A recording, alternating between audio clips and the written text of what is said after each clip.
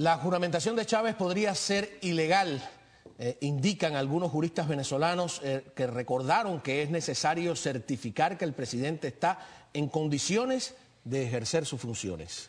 Y por otra parte, ex magistrados del Tribunal Supremo solicitaron una juramentación con carácter de urgencia.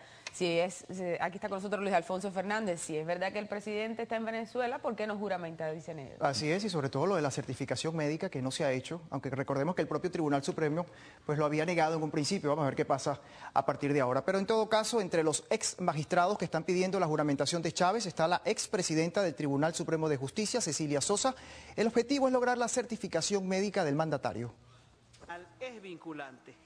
El Tribunal Supremo de Justicia de Venezuela sigue recibiendo una avalancha de solicitudes para que ejerza su función ante la llegada de Hugo Chávez a Caracas y así terminar con el limbo constitucional vinculado a la juramentación presidencial. Y dependiendo el resultado de esa certificación eh, que diga que está en condiciones tanto físicas como mentales, para desempeñarse como presidente, proceder inmediatamente a la juramentación ante el Pleno. En el caso de que la certificación dijera que no está en esas condiciones, obviamente eh, la sala plena tendría que pasar la eh, información de la certificación médica a la Asamblea Nacional para que resolviera en consecuencia. Y es que el misterio y total hermetismo en relación a la salud de Hugo Chávez siguen intactos, tal como ocurrió en el CIMEC de La Habana. En otras palabras, Chávez está tan invisible como en Cuba, así lo aseguran algunos analistas.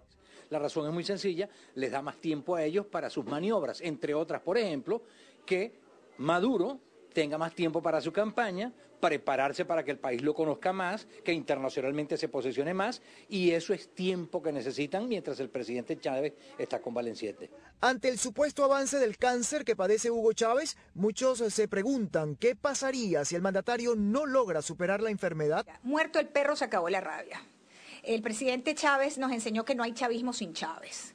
Y yo creo que eso es importante recordarlo porque el pueblo se identifica con un líder, igual que pasó con Perón en la Argentina, igual que pasó con el, dictador Trujillo en República Dominicana. Eh, fíjate, murió Perón y sigue el peronismo o adeptos del peronismo todavía en el poder.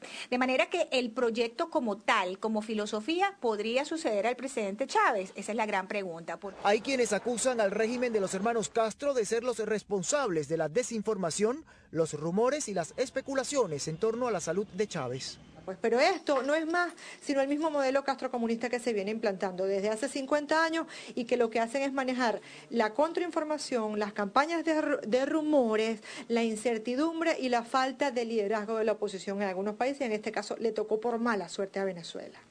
Y por cierto que hoy se cumplen dos meses y medio que Chávez, por supuesto, no aparece en público, solo se han publicado cuatro fotografías junto a dos de sus hijas y esto, por supuesto, sigue creando incertidumbre si realmente Hugo Chávez está en el hospital militar o está en el fuerte Tiuna de Caracas. Sigan con más dentro de pocos minutos aquí en América.